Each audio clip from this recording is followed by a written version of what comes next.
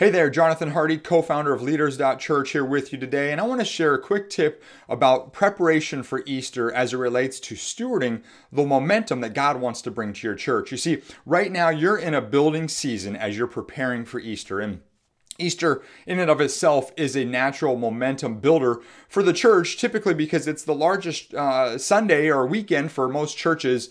Uh, and so, this is a great opportunity for you as uh, a pastor and ministry leader to be building and stewarding the momentum that God wants to bring to you. Now, we often talk about building momentum, or you hear us hear people talk about riding the wave of momentum, but you don't hear a lot about stewarding momentum. And and and this is something that's very important as it relates to Easter because getting people to Easter weekend, whether you have an Easter outreach, whether you um, have just a big production or Easter services, or whatever that looks like in your context, you get them there but then what happens after? How do you steward all this momentum that you worked so hard to build and that naturally was built just because it's Easter?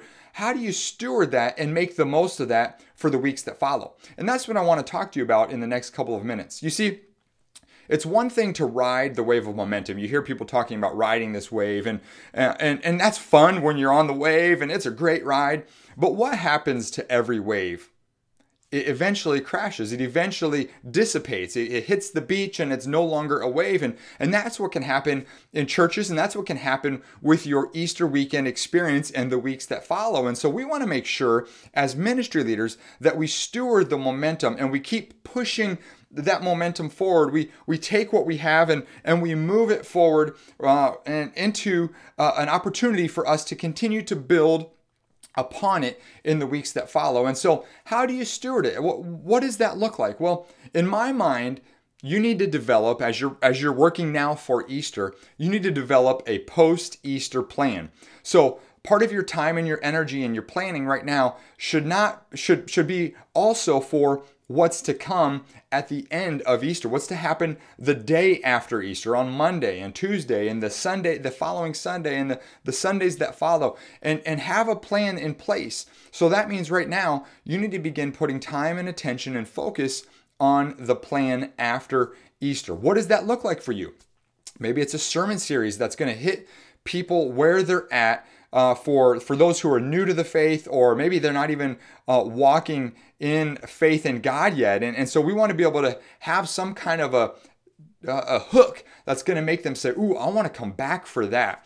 Um, you know, it's also as it relates to time after Easter. Now, you know, I don't know about you, but I know uh, for many ministry leaders, they are wiped after Easter because we work so hard to to build up to the Easter weekend and then we get to Easter and then Easter's done and then it's oh, we're done. We don't have to do any more hard work, but that's really when the work begins. And so we want to make sure that you get your vacation in now. You make sure that three, four, or five weeks before Easter, depending on when you're watching this, that you're getting some time off. You're getting some rest because you're building up energy and strength for Easter and the week or two that follow. Uh, you want to make sure too that you're not just taking the days off right after Easter, uh, or at least some of the team. That people are on the on the ground. They've got they're ready to go with uh, the action plan, your post Easter plan that you have in place, uh, and then as it relates to the the money and the resource that we invest in the Easter weekend. We have to remember that it's not all about just building this huge weekend. I mean, we want to we want to do what we can to build on the natural momentum that happens, no doubt.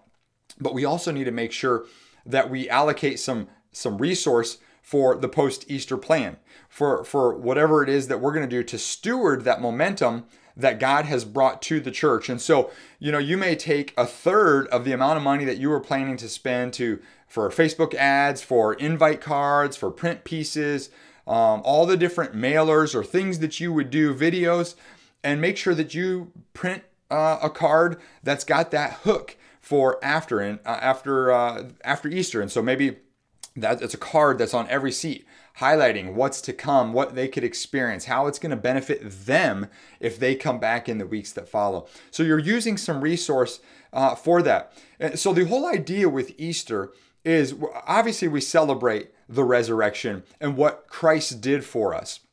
Clearly, that's an element uh, a, a, huge part of what we're doing. I mean, that is the sole reason for Easter. But we want to make sure that we use it wisely so that we can build the church, grow the church, reach more people, make more disciples. And that happens when they keep coming back. And so that's where that post Easter plan comes into place. And that's what really happens when you steward the momentum that God brings to the church. We don't want to just ride this wave and then let it dissipate. We don't want to just build momentum and get this big weekend and, like, all right, we did it. And then that's it having the people there for your weekend whatever whatever it looks like outreach production the sunday service itself whatever that might be that is great. That is important.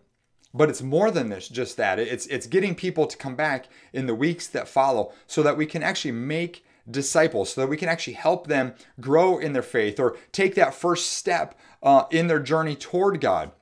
Whatever that might look like for them and for every individual that you're reaching in your community so the key is steward the momentum.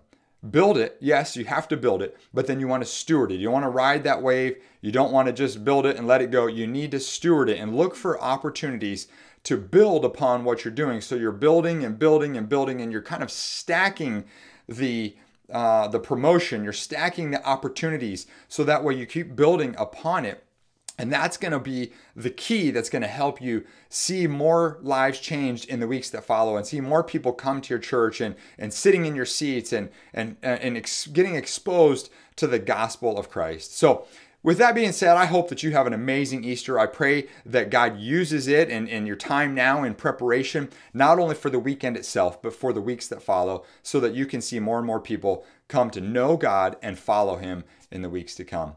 Take care. Talk to you next time. Be blessed.